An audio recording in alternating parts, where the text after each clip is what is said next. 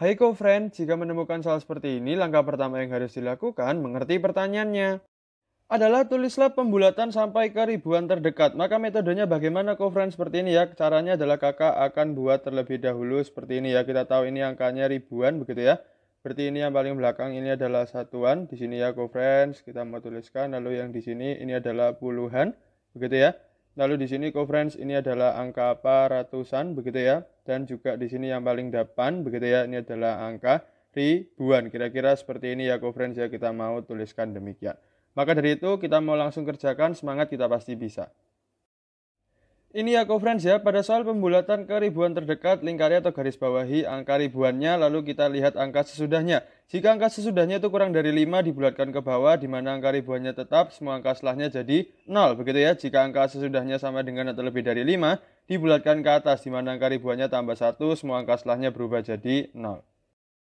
Maka dari itu di sini co-friends kita tahu ya, kita mau bulatkan ke ribuan terdekat berarti nanti kita lihat ribuannya lalu lihat angka setelahnya ini ya di ratusannya. Maka mari co-friends kita kerjakan soal kali ini, semangat kita pasti bisa.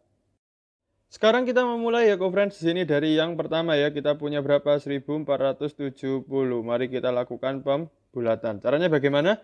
Di sini kita lihat angka apa? Angka ratusannya tadi ya, begitu ya. Di sini kita lihat angka ratusannya, setelah kita lihat ribuannya, kita lihat ratusannya. 4 ini kurang dari 5.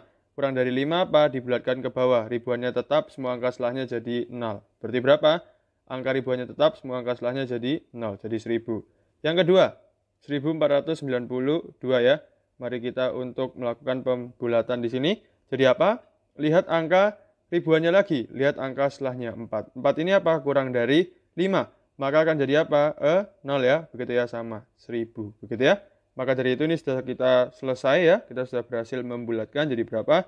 1000 untuk yang pertama dan yang kedua ini juga 1000. Sampai jumpa di soal berikutnya ya, friends, pengerjaannya selesai. Semangat terus!